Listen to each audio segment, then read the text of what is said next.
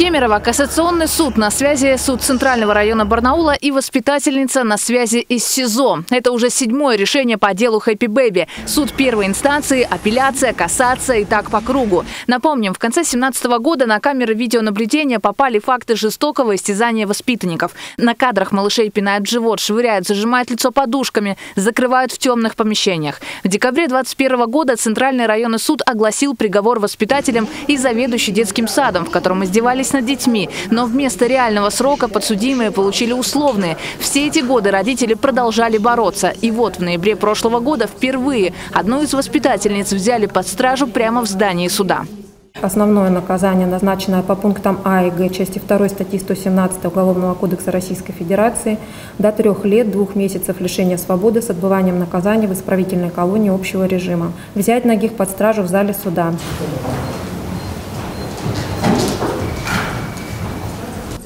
Это Татьяна Нагих. Реальный срок получила еще одна воспитательница Оксана Чегрова. Три года лишения свободы в исправительной колонии общего режима. Однако суд отсрочил ей наказание, пока ребенку Чегровой не исполнится 14 лет. Родители считают, что педагоги не понесли заслуженного наказания. Например, заведующая детским садом Елена Воротникова получила лишь штраф за оказание услуг, не отвечающих требованиям безопасности. В Кемерове представитель Генеральной прокуратуры назвал это наказание не просто формальным, а абсурдным. Сегодня в судебном заседании были рассмотрены жалобы как подсудимых, так и потерпевшей стороны. Подсудимые просили их оправдать, смягчить им наказание. Доводы наших жалоб сводились к тому, что приговор, назначенный подсудимым, несоразмерно мягкий, не соответствует тяжести содеянного. И такой приговор, как акт правосудия, не восстанавливает социальную справедливость. Кассационные жалобы обеих сторон Кассационный суд решил оставить без удовлетворения. Но именно это решение теперь дает родителям право обратиться в Верховный суд.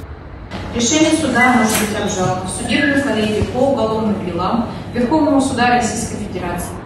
В начале августа участники процесса смогут получить решение суда на руки. И сразу после этого родители напишут жалобу в Верховный суд. Как нам стало известно, накануне было возбуждено еще одно уголовное дело, связанное с пребыванием детей в детском саду Happy Baby. Совсем скоро общество узнает о всех подробностях этого дела. Кстати, на этом заседании одна из воспитательниц отметила, что пора бы родителям уже простить подсудимых. Вот только за эти годы прощения за истязание детей никто так и не попросил.